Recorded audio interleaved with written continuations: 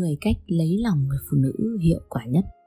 Các bạn thân mến, lấy lòng người phụ nữ có quá khó hay không?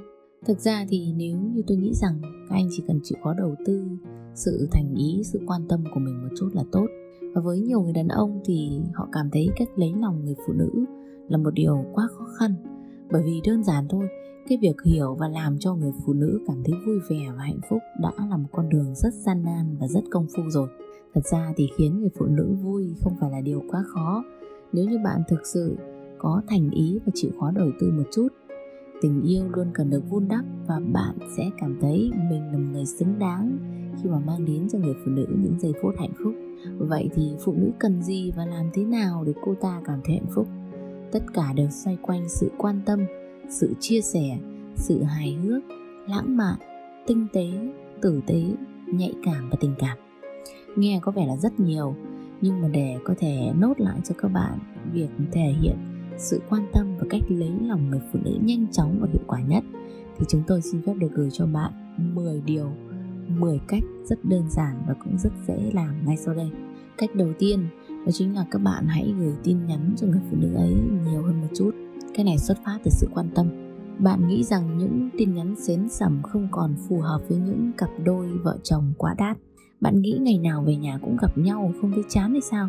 Mà còn phải nhắn tin quan tâm đến nhau làm gì? Nhưng nên nhớ rằng với phụ nữ, quan tâm không bao giờ là thừa.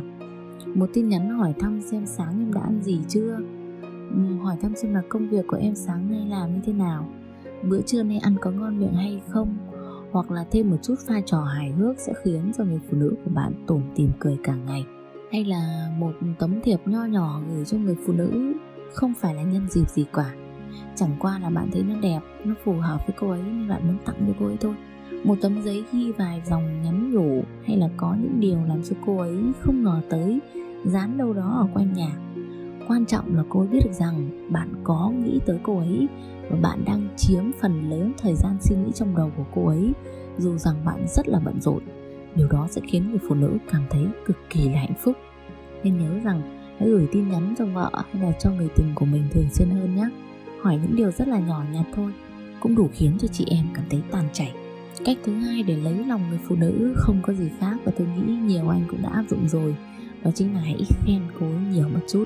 Đây là cách lấy lòng phụ nữ cực kỳ hiệu quả, bởi vì cô nào cũng rất là thích được khen.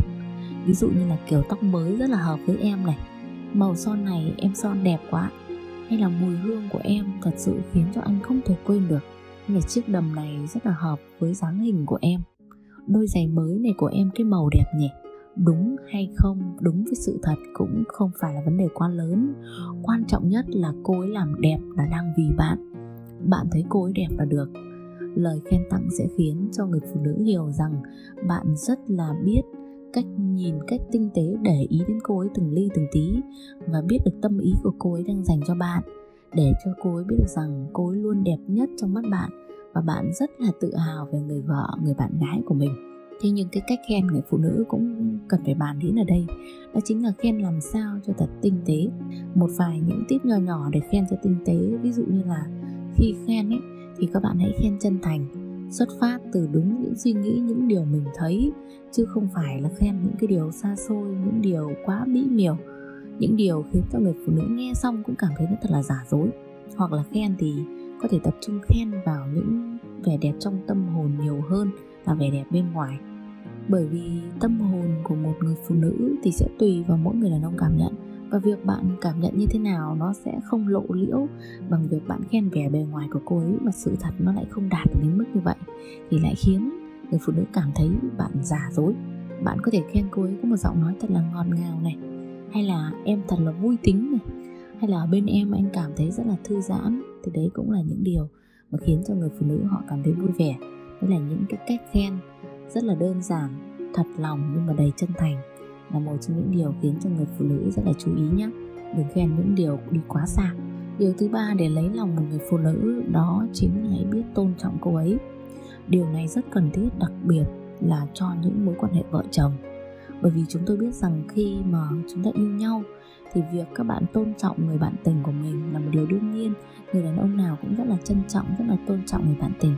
Thế nhưng khi các bạn đã về chung một mái nhà, thì việc tôn trọng người vợ của mình, đôi khi các anh đàn ông, tôi biết là các anh không có ý gì đâu, nhưng mà để thể hiện được cho người phụ nữ thấy sự tôn trọng thì các anh lại thường không để ý. Vợ chồng tương kính như tân, bạn nên cảm ơn cô ấy vì những việc cô ấy làm cho bạn, cho dù đó là những điều đơn giản nhất. Cũng đừng sợ phải nói những lời xin lỗi cho dù là có thể lỗi đó chưa chắc đã là ở do bạn gây ra. Hãy dành những cử chỉ, những hành động lịch sự nhiều nhất cho vợ, như là kéo ghế này, mở cửa khi cô ấy đang tay xách đất mang quá nhiều đồ khi vừa đi chợ về này, hay là để cô ấy chọn món ăn trước cho gia đình này. Tại sao lúc nào cũng phải ga lăng với người ngoài, trong khi người đầu gối tay ấp với mình, chăm sóc cho miếng ăn giấc ngủ của mình thì mình lại thờ ơ, đúng không ạ? Chính vì vậy hãy thể hiện sự tôn trọng, sự gan lăng với chính người bạn đời của mình nhé. Nếu như bạn làm được điều này, thì không có người phụ nữ nào họ lại không cảm thấy sung sướng và hạnh phúc với người chồng của mình cả.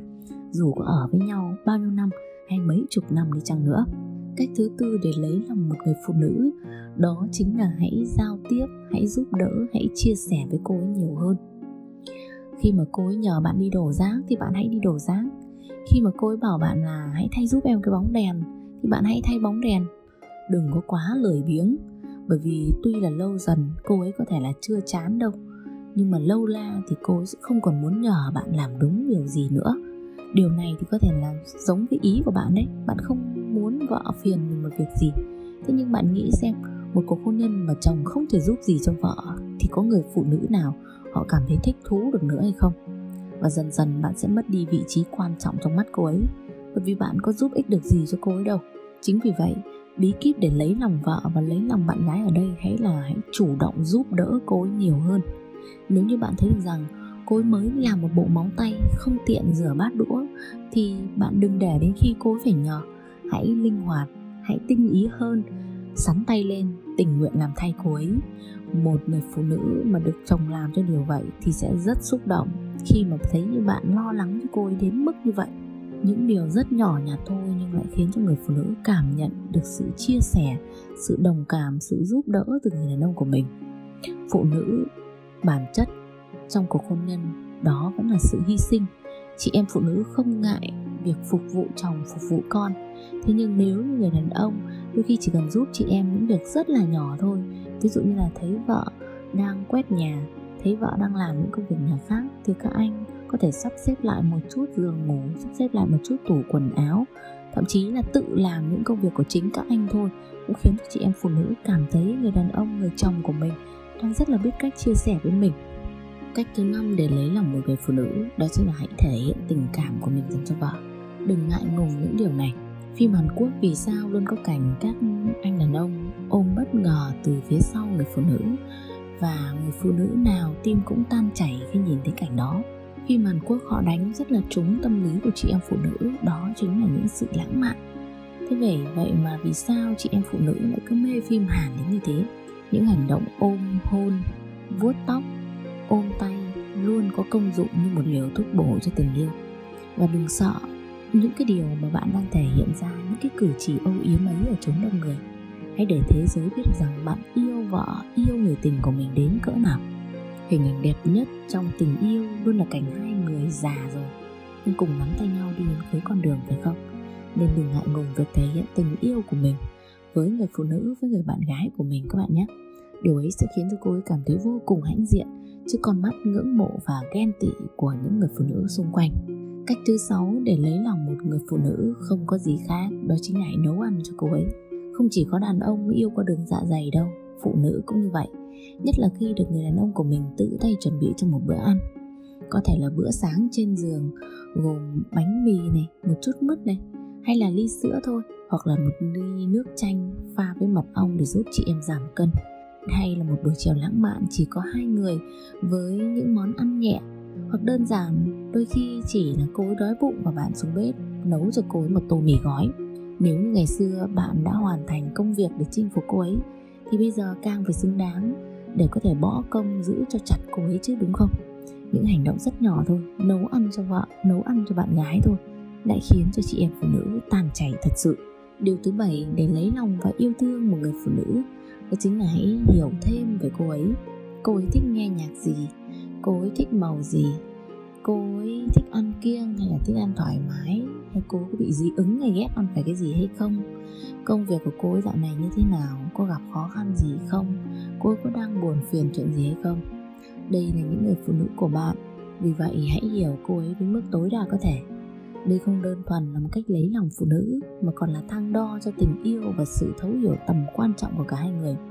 Nếu như bạn không biết sở thích, không biết tâm trạng, không biết nỗi lòng của cô ấy, thì sớm hay muộn bạn cũng mất cô ấy với những khoảng cách trong tâm hồn. Thế nên, hãy tìm hiểu thêm về người phụ nữ, người vợ, người bạn gái của mình. Không ngừng mỗi ngày các bạn nhé. Cách thứ 8 để lấy lòng chị em phụ nữ, đó chính là hãy khiến cho cô ấy cười.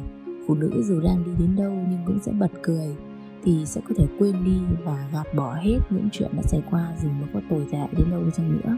Cuộc sống đã đầy những lo toan, đầy lạ lùng. Tại sao lại không giúp nhau nhẹ gánh bởi những tiếng cười? Cùng nhau xem một bộ phim hài, cùng nhau đi dã ngoại, cùng nhau chơi game.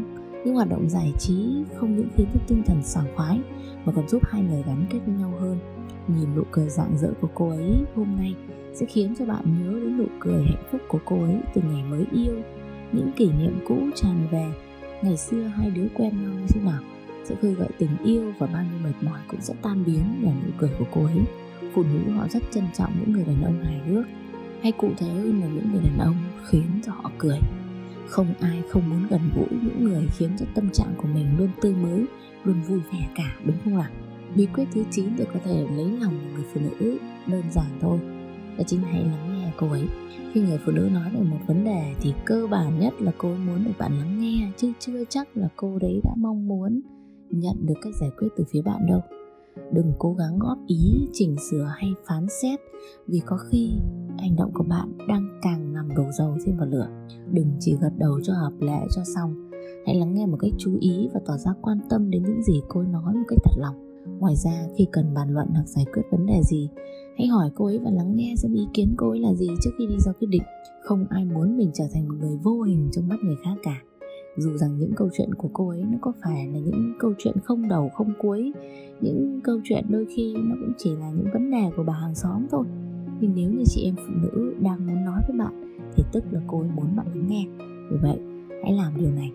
Đơn giản thôi, hãy lắng nghe phụ nữ nhé và điều cuối cùng để lấy lòng một người phụ nữ, tôi nghĩ rằng các anh cũng thừa biết chuyện đấy là gì. Đó chính là hãy mang đến cho cô ấy những giây phút tình dục thật thăng hoa. Hãy để chuyện chăn gối luôn mặn nồng và luôn say đắm. Những tư thế mới, những địa điểm mới, những trò chơi mới hãy cố gắng tìm ra những cách mới để tạo cảm hứng cho nhau hơn. Cuộc yêu nồng nàn, những cảm xúc thể xác để lại cho nhau sẽ giúp tạo ra những nội tiết tố, giúp cho cả hai sảng khoái hơn, gắn bó hơn, yêu nhau nhiều hơn.